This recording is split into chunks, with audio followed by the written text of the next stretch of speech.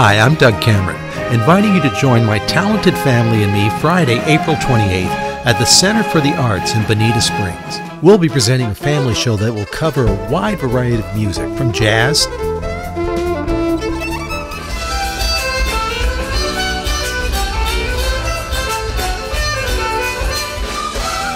to Latin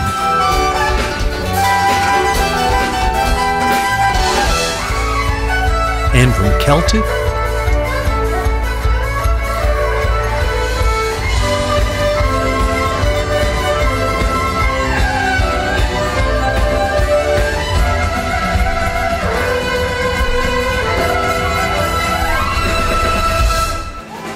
to country and more.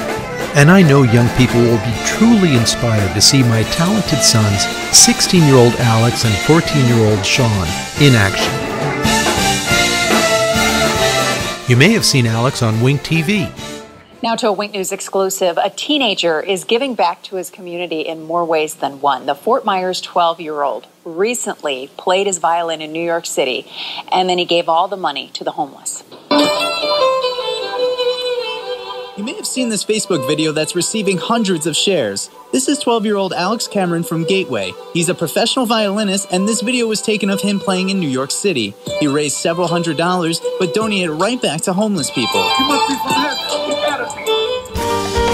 Or the YouTube video of his original composition, Spanish Groove, shot right here in Fort Myers.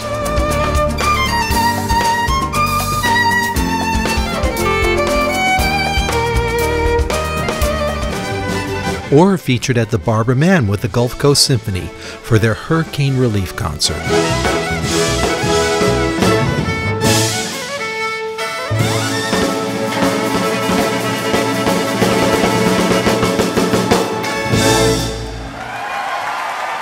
So come join us Friday, April 28th at the Center for the Arts in Bonita Springs. Look forward to seeing you there.